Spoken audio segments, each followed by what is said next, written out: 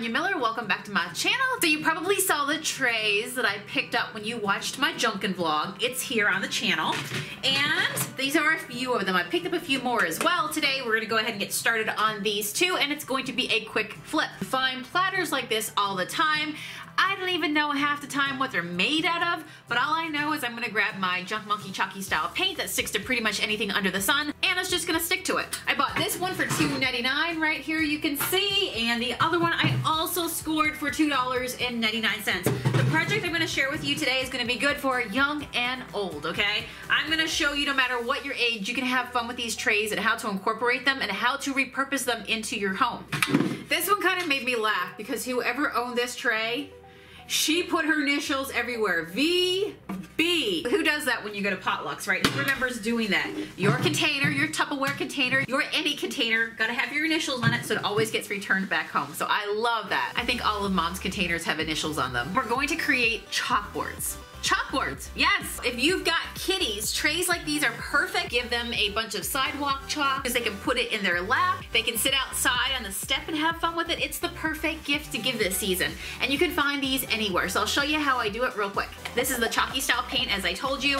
And remember that if you do not seal our paint, you have a chalkboard on your hands. So think about that. How many colors do we have right now? That means you can do a chalkboard in any color that makes you happy. I'm gonna go with a classic black for this project, but watch and see what I do. I'm not gonna prime this, I'm not gonna strip this, I'm not gonna sand this, I'm just gonna go right into my black paint, which is a nice true black. So straight onto the platter, my black velvet goes. And boom, just like that, we are creating a chalkboard. Now, when I create chalkboards, first tip is I love to brush on my paint versus spraying it on or rolling it on. I just love to brush it because those brush marks, when you run your chalk over it, it just catches really nice. And while that one is drying, let's go ahead and do the same and add a layer right here. Again, we can splash it on the edges. Our paint just goes on so easy. That is just one coat real quick. Boom, just like that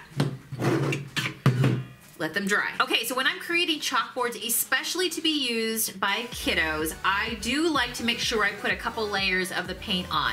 This way it's much more durable because I've seen lots of kids with chalk sticks and uh, some of them can really pack a punch if you know what I'm saying. So let's go ahead and add a second layer of that paint as well. And let's go ahead and do the second coat on the little tray too. Very nice.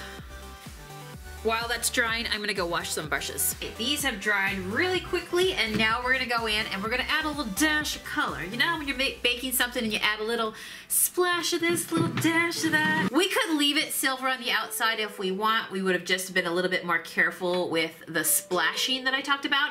I like to add color to the edging of my chalkboards, whether I'm using repurposed trays or whether I'm using um, old cabinet doors, any of those things, because color just makes me happy and I'm finding it makes a whole lot of other people happy too.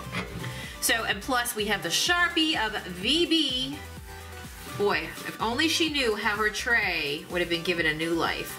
So this is why I like to splash a little bit of the black up here because I like it how now when I go over to give my color edging, I'm gonna dry brush it, it allows some of that black to come through. So it gives me like this really antiqued edge around the edge. Color, bring on the color, yay! All right, let's do the other one. What color should we put the other one in while that one is drying, guys? Any ideas? How about we do some Sweet Sunset? Sweet Sunset is this really pretty orangey sunset color. And let's go ahead. Oh, I love this color with black. Oh, yeah how yummy that is. Okay, we are dried, so now you better believe it, we're gonna do some distressing. For me, I love to do some distressing around the edges, bring a little bit of that beautiful silver through.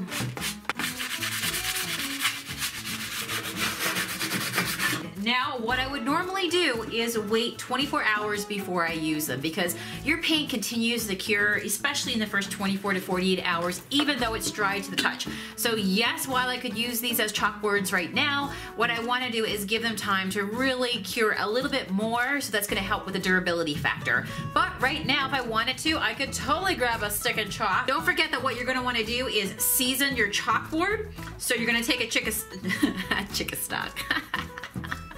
You're gonna take a stick of chalk and you're just gonna go put it on its side and basically go all over with it on its side. It's gonna fill in those pores so that way you don't get what's called ghosting, which is when the very first thing that you write on your chalkboard sticks in your chalkboard.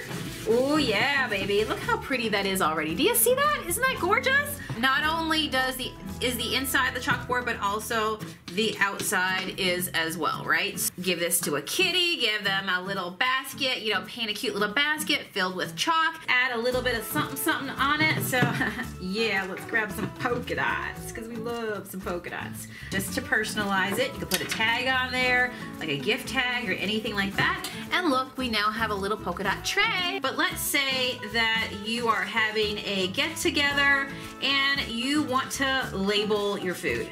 Pepper jack cheese. Let's do the same thing.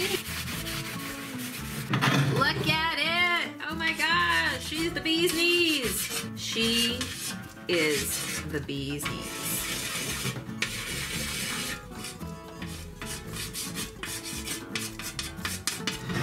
Now remember the moment you put banana peel on it or you put our monkey shine onto it, at that point it becomes a fully finished piece of furniture. Done. These gifts are done. Guys, thank you for hanging out again today on the vlog. I would love it if you would share this video. I would love it if you would subscribe to my channel, give me a thumbs up, leave me a comment below. Have you ever made a chalkboard with our paint before? Will you think about doing it now? See you guys again tomorrow. We'll be back at it again.